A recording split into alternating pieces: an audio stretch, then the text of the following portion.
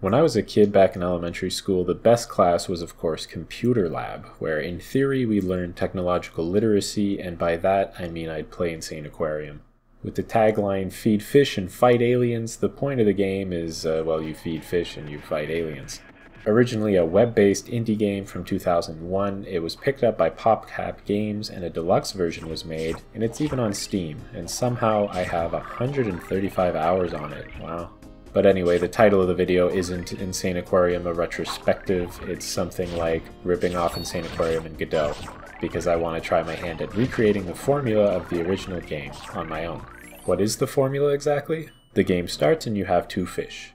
You click to feed the fish, which costs a small amount of money. The fish drop coins, which you collect in order to keep feeding them, to buy new fish, or to unlock upgrades. You also need a certain amount of money to beat each level. There are more expensive fish than just goldfish. For example, in the first level of the game, there are piranhas, which need to eat your goldfish to survive, but drop a lot more money than goldfish do. And of course, occasionally an alien will appear and try to eat your fish unless you click it to death. So there's the outline of what I'm going to do in this video. Feed fish, get coins, get bigger fish that eat the smaller fish, and fight off alien invasions. And boom, here it is. So that's it. Uh, video done. okay, please, please stay though. Okay, I'll, I'll replace the programmer art soon. Okay, I, I swear. I made a simple state machine for the fish to program their AI.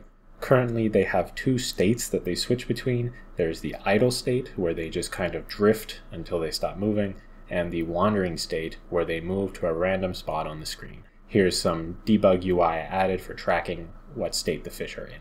The next AI behavior will be the feeding state, where the fish will search for food. For that, of course, we first need there to be food. Uh, please, you're, you're still here, right? I, I will replace the programmer art. Okay, I, I will. I gave the fish a hunger meter, which constantly ticks down every frame from 1 down to 0. When it's less than 0.6, I tell them to switch to their feeding state so that they start looking for food, and if it reaches 0, they enter the dead state, so currently we can click to drop food, it falls down, fish go for it. Nice. When hungry, I'm just tinting them green as a visual indicator, and when they die, I flip them upside down and have them sink to the bottom of the tank before despawning. For this, I have a script on them that becomes active when they enter the dead state, and that despawns the fish if it doesn't move for an entire second. This only happens when they hit the bottom of the tank and stop moving.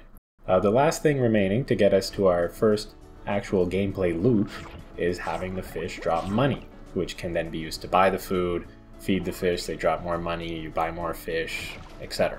So here's the fish, and they're they're dropping money. Uh, hmm, that uh, no, no, still no. That's that's not good at all.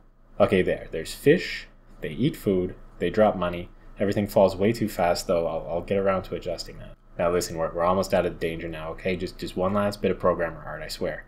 Here, I'm getting the food chain working. So goldfish eat the fish food, then piranhas eat the goldfish. The trade off being that the diamonds dropped by the piranhas are worth a lot more than the coins dropped by the fish. The code for eating food is the same for goldfish as it is for piranhas. It just takes a node 2D and has the fish go towards it.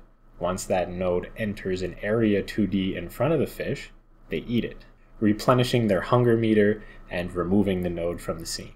For the goldfish, this node 2D is always a food node, and for the piranhas, it is always a goldfish node. And there, look, the programmer art, programmer art's gone. Wait, no, I, I, I, I probably should, I shouldn't use this. I, I should make my own art. Okay, so feed fish, fight aliens, right? We can feed fish. Time for the aliens. Boom, that's aliens. Uh, they're just slightly modified piranhas in the code that I wrote, just that they get hungry much faster than a piranha does, and they cannot die from starvation. They can eat both goldfish and piranhas. In the same way that fish occasionally drop money while alive, aliens will drop money but only once they die. Now it was kind of hard clicking on things when it was so zoomed out like this, so I made everything a lot more closed in, which admittedly is how the actual game I'm basing this off of is scaled. I can definitely see why they chose that scale. It makes it much easier to click on all the coins. It's almost like the game was well made or something. Now I've set it up so that clicking on the aliens damages them, and it also pushes them away from where they're clicked. This way you can sort of direct them away from your fish so they don't eat them. I added some particles where you're shooting your laser beam, uh, but you can't really see it too well here since I, I forgot to capture the mouse cursor. Uh, let me fix that. There, uh, mouse cursor. Of course, the aliens kind of appear out of nowhere, and there's not enough visual feedback when you're killing them. Now that the game mechanics are all here, I'm gonna work on the visuals. For some visual feedback, I've added a portal that appears and the aliens warp in through it. I just copy pasted part of the portal shader I made when I made a portal gun in Godot. I have another video about that. Just enough to make a wobbly looking oval. I also copy pasted quite a bit of code from my game Asteroid Arcade, it's on Steam, play it maybe, uh, for handling inputs and managing the game scenes. It's really nice having a backlog of my own stuff that I can just steal from when I make new games. And last up, sound does wonders for a game. I reused some random sounds from Asteroid Arcade again, so that's the UI sounds, the coin collection sound, and the laser firing sounds.